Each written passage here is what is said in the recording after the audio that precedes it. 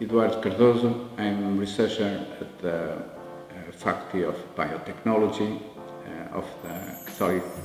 University of Portugal, Porto. Um, I'm coordinating in the framework of a European project um, a strand uh, that involves the, the,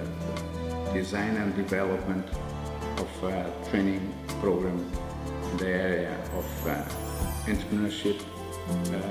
for the agro-food sector. Uh, in that framework, uh, in cooperation with different training and education institutions in different countries, um, we did um, set up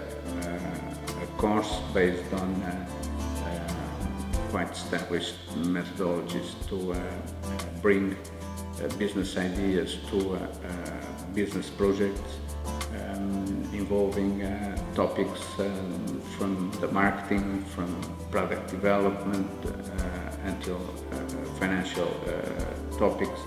that enables trainees and students to uh, be able to um, to develop and to project um, businesses around uh, uh, new trends in food science and engineering.